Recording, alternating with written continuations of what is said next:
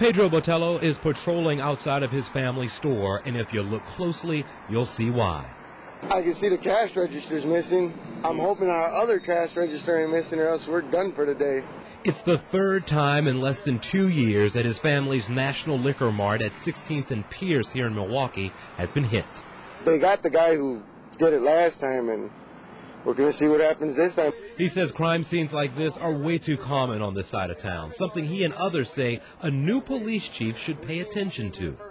We need more policing in neighborhoods that, you know, the crime rate is up on it, and that would be perfect. I lived on the north side and I moved on the south side. I think it'd be a little more quieter for us, gunshots and safer. Now it seems like it's getting bad on the south side too. While some accept that crime is pretty prevalent in their areas, others say they feel safe, but they just deal with some petty crimes and they don't want to see those petty things become serious.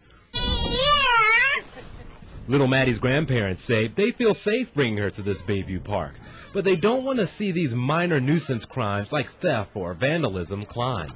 If you fix little things in an area or a neighborhood, it tends to keep it from going to worse. Mm-hmm. You know, we're part of Milwaukee too, so what happens anywhere happens here, affects us here. Kathy Digenhart also has few complaints, but says a few extra eyes wouldn't hurt.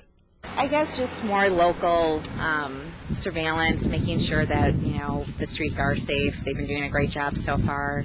And back outside of Pedro's store, they want patrols there to strengthen and not fall to pieces in their community. In Milwaukee, Jason Newton, WISN 12 News.